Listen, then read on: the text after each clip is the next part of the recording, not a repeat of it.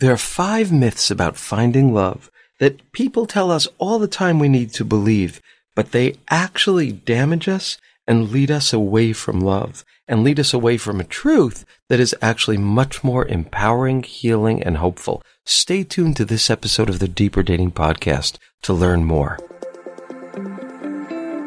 If you've ever been disillusioned, disappointed, or discouraged in your search for love, and you know there has to be a better way to find the healthy, soul filling love you've always longed for, then you've discovered the podcast for you.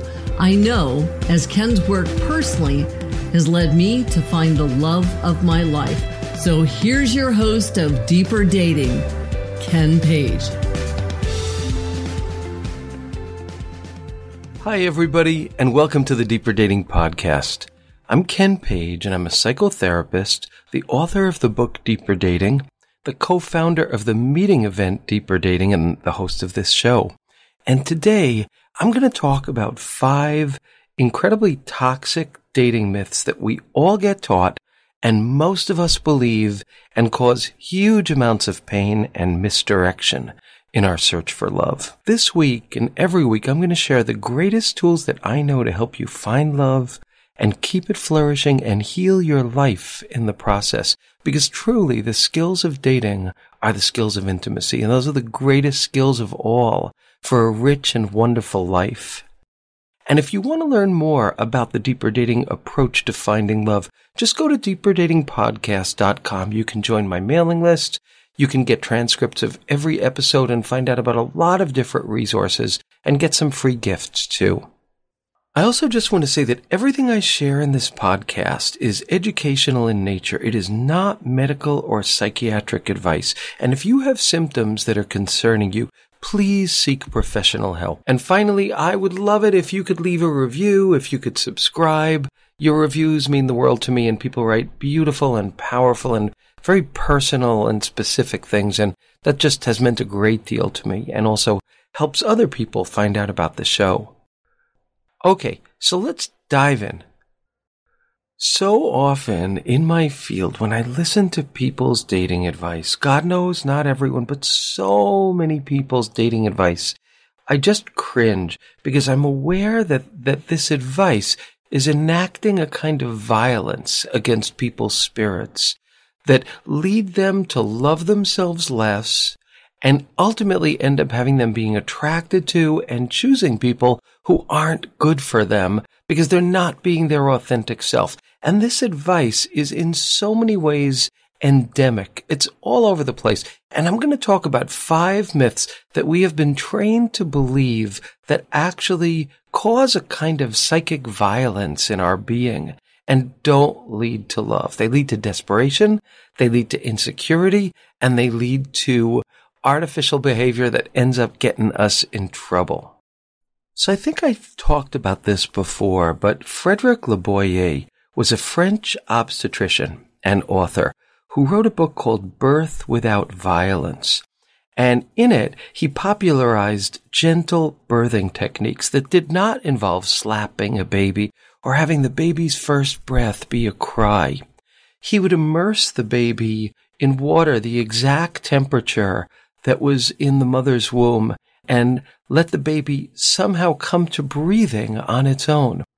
And the faces of these babies who are immersed in water, obviously not their faces, but their bodies are immersed in water and they're being stroked. The umbilical cord is still attached and they take their first breath naturally their faces are so beautiful and Buddha like. There are videos of this.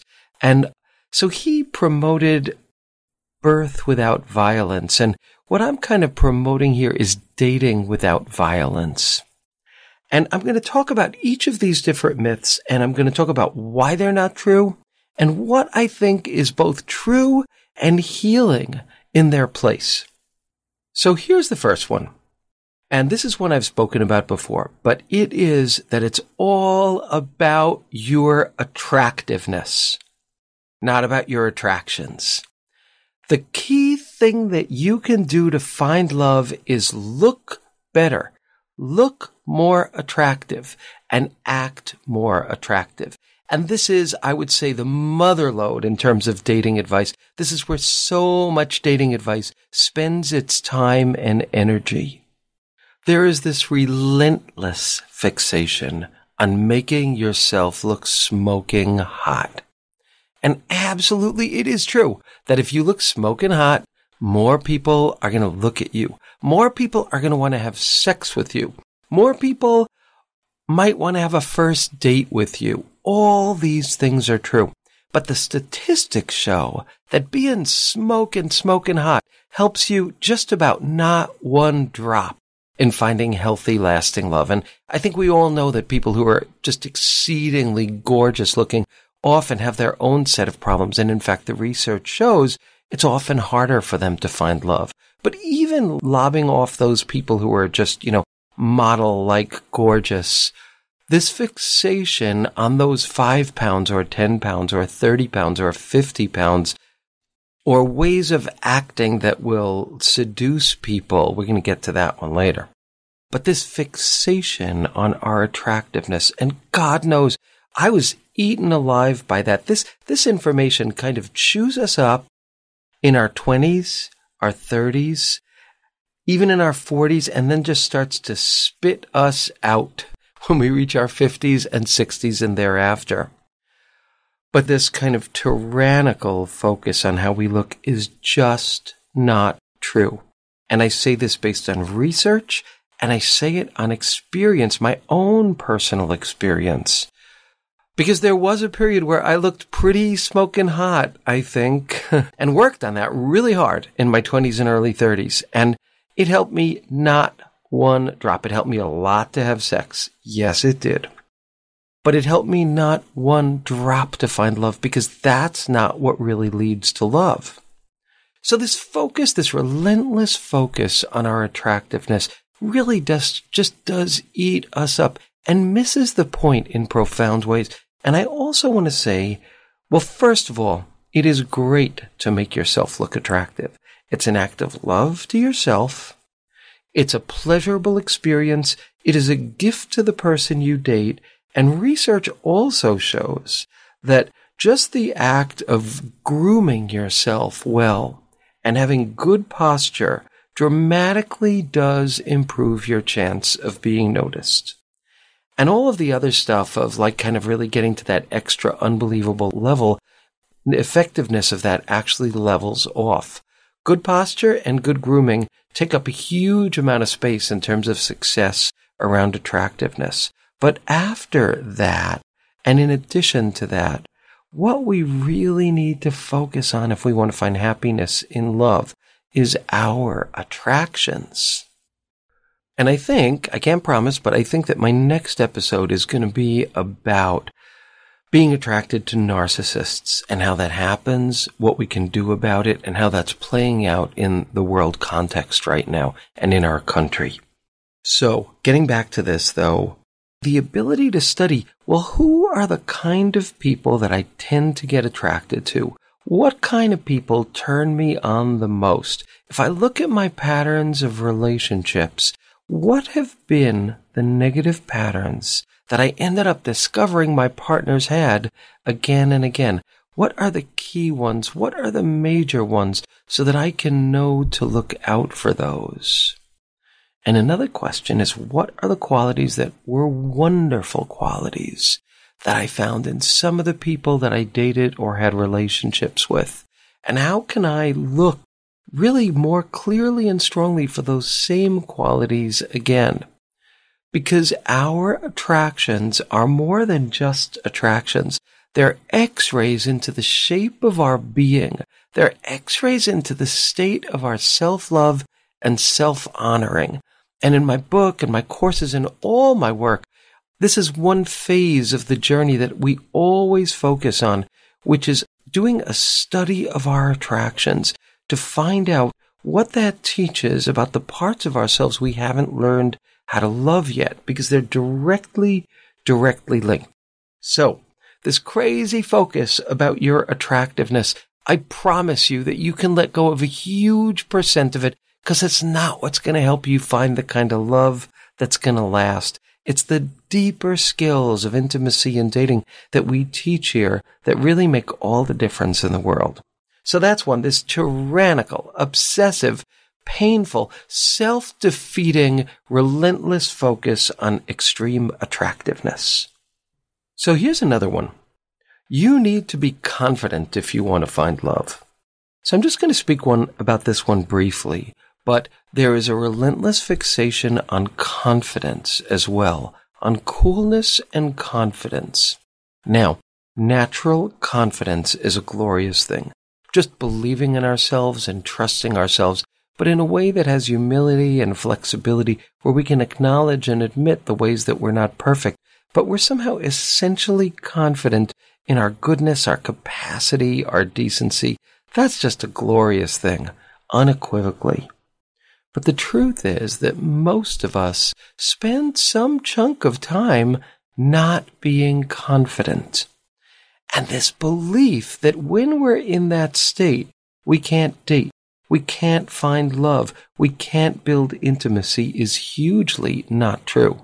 There's a set of skills of how to be with ourselves and be in the world when we're feeling really shy, when we're feeling insecure, when we're feeling inadequate, when we're feeling uncertain, there's a set of skills that we can learn where we can honor ourselves in the process and ask ourselves the huge question, what do I need now? And what we might need might be to ask somebody for something. It might be to have time and space alone. It might be any one of a number of things, but when we're not feeling confident, when we're in a zone where we're not feeling together and integrated, and our question becomes, how can I come off that way? We create a kind of corrosion of our internal structure. There's a feeling of crumbling that we fight against all the time. Or I've described it as kind of climbing a wobbly ladder. The wiser question to ask is, what do I need right now? Which is a much more self-loving question. So, confidence is great, natural confidence, but we do not need to force confidence. And the deeper and wiser path of confidence is knowing how to care for ourselves when we're not feeling so confident. And in truth, that's authentic confidence. So here's another one. We hear all the time, and I've talked about this a bunch and I'm going to keep talking about it because it just kills me. And so many well known and well respected teachers teach this information. I think it's damaging and I think it's limiting. And what it is, is women, you want to stay in your feminine energy and cultivate your feminine energy, the heterosexual women, if you want to find a masculine man. Men, you need to be an alpha male. You need to be in your masculinity if you're going to wow the women for heterosexual women.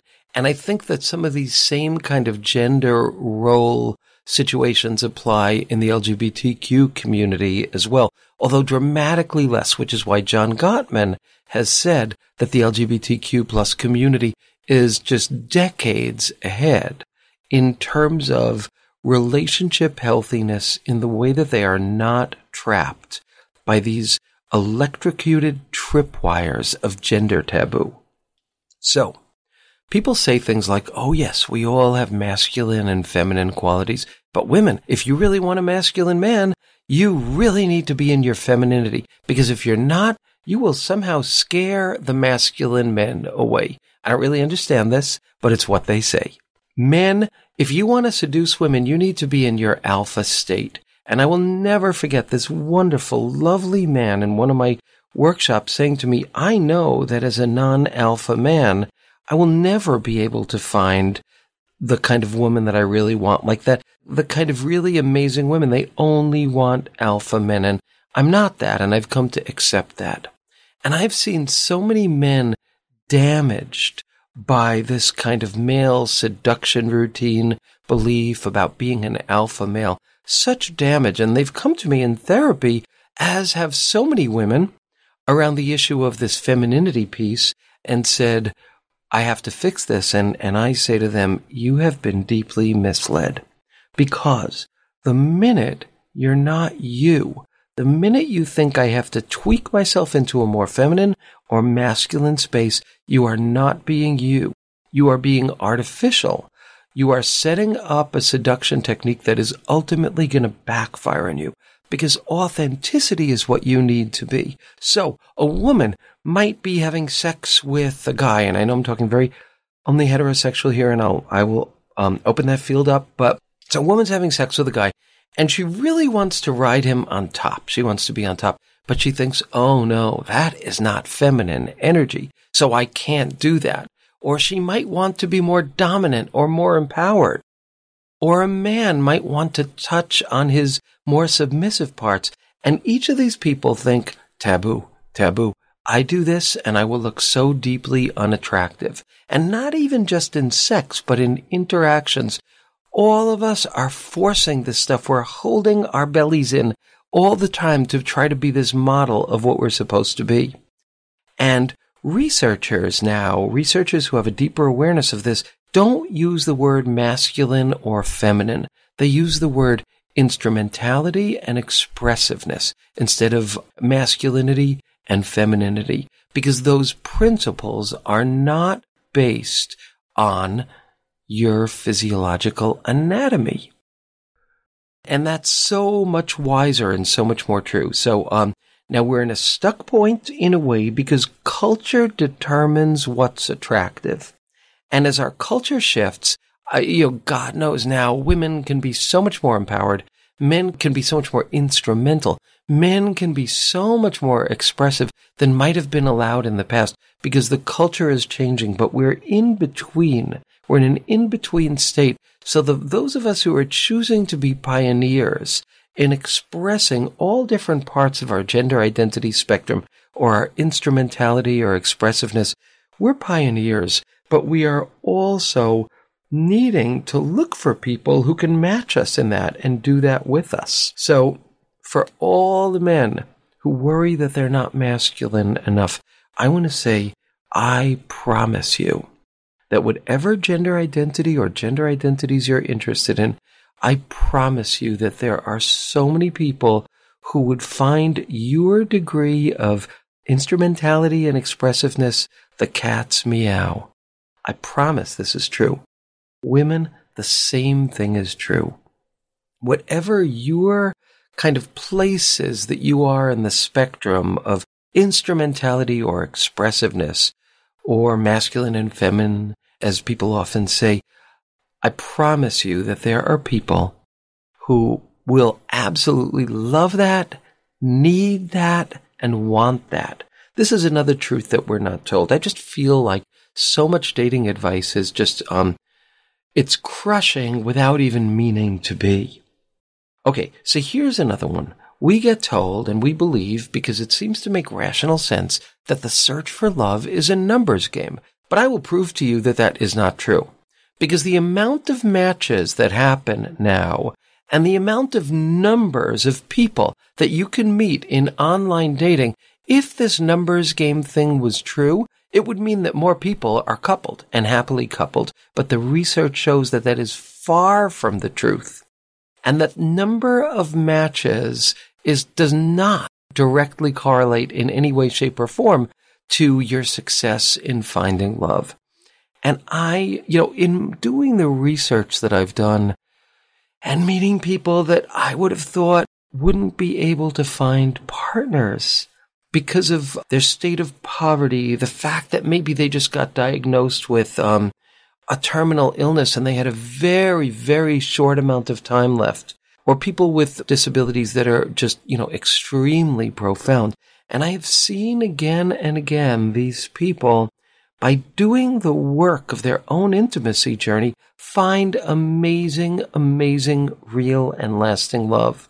And I've seen so many people without these challenges not be able to find love. I've really come to believe that it is so much more about your inner state. Does it take bravery? Does it take getting out there? Yes, it does. It doesn't just happen like a miracle. I mean, it can, but it really, I believe we need bravery and we need to get out there. But I do believe that the more we make this decision to be truly who we are. And the more we make the choice to only look for people with whom that self feels safe and honored and cherished and where it's mutual, when we make those choices and combine bravery with that, our chance of finding love goes up amazingly. And I know that so many older women feel like the numbers are against me. There are so few guys of my age who want to date somebody like me.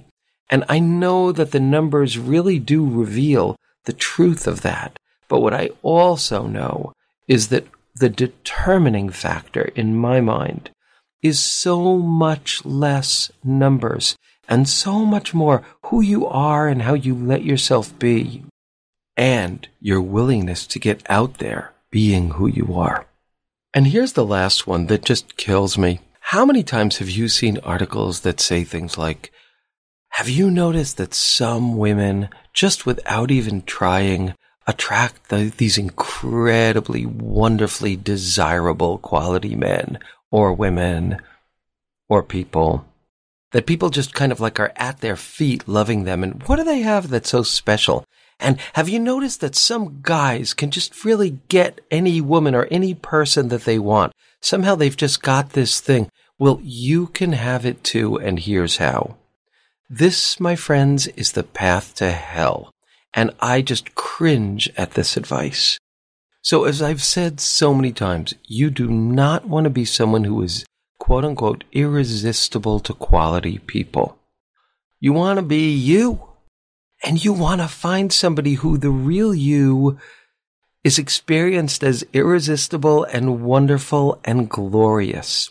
It's an act of bravery and faith to not feel like you have to learn these skills and these qualities that are going to seduce people, that are going to make you irresistible and say instead, I am going to cultivate the essence of who I am.